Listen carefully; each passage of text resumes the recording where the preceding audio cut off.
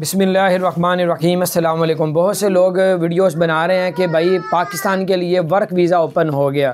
اس کے بارے میں میں آپ کو بتاؤں گا کہ واقعی ایسا ہوا ہے یا نہیں ہوا، تاکہ آپ لوگ اس کی تیاری کریں۔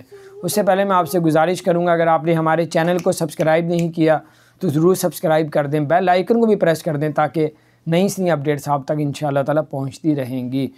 اور آپ کو بتاتا چلوں، پاکستان کے لیے ورک ویزا جو وہ بند کیا ہی نہیں ہوا تھا نہ معطل کیا تھا، اوپن ہی ہے۔ شروع سے ہی۔ لیکن ابھی وہ پاکستان سے لوگ منگوا ہی نہیں رہے، نہ انڈیا سے منگوا رہے ہیں ورک ویزے کے لیے۔ کیونکہ انہوں نے یہ بتایا ہے کہ نہ ہم نے صرف پاکستان کے لیے جو ٹورسٹ ویزا تھا، ویزٹ ویزا تھا، اس کو معطل کیا ہے۔ وہ بھی ان قریب اوپن ہو جائے گا۔ لیکن ورک ویزے کو نہ معطل کیا ہے، نہ اس کو بین کیا ہوا ہے۔ اوپن ہے، لیکن جو کرونا کے دس مہینے وہاں پہ دبئی میں، یو ای میں گزرے ہیں، اس میں دو لاکھ لوگ بے روزگار ہو گئے تھے، ڈیڑھ سے دو لاکھ۔ انہوں نے دو لاکھ کی تعداد بتائی تھی۔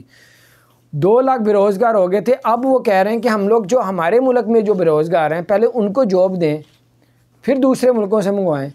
یہ نہیں کہ ہمارے اپنے ملک میں بے روزگار ہیں اور دوسرے ملکوں سے بلانا شروع کر دیے۔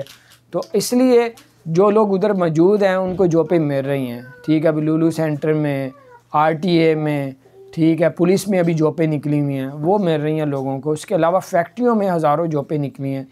اب اب تقریباً ڈیڑھ لاکھ لوگ ہیں جو وہاں بے روزگار پچاس ہزار لوگوں کو جابیں ملی ہیں ابھی پچھلے دنوں میں۔ جس میں انڈین نے بہت زیادہ فائدہ اٹھایا کیونکہ پاکستانی کے ویزے بین تھے۔ ہاں اگر آپ ٹورسٹ ویزے وزٹ ویزے پہ کسی طریقے سے آپ کا ویزا لگ جاتا ہے، آپ چلے جاتے ہیں، تو آپ کسی کمپنی میں اپلائی کرتے ہیں وہاں پہ جا کے، تو آپ کو ویزا مل جاتا ہے۔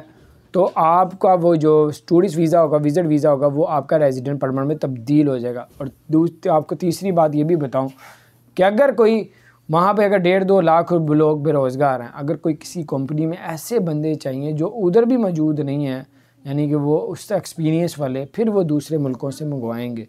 تو اگر کوئی ایسی ان کی جابس نکلیں جو ہمیں پاکستان سے ہی ان کو بندے چاہیے، تو پھر وہ ایسی کمپنیوں کو کہتے ہیں کہ ہمیں پانچ سو بندہ، ہزار بندہ چاہیے۔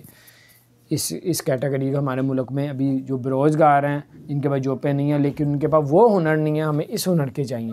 تو بہر وہ الگ بات ہے، پھر کوئی اعتماد والا بندہ ہو کمپنی ہو، تو پھر آپ لوگ اپلائی کریں۔ تو بہر یہ کچھ اپڈیٹس تھی میں نے کہا آپ کے ساتھ شیئر کروں، اپنا خیال رکھیں۔ اگر آپ نے ہمارے چینل کو سبسکرائب نہیں کیا، ضرور سبسکرائب کر دیں۔ بیل آئکن پریس کر دیں تاکہ نئی سی اپڈیٹس آپ تک پہنچتی رہے۔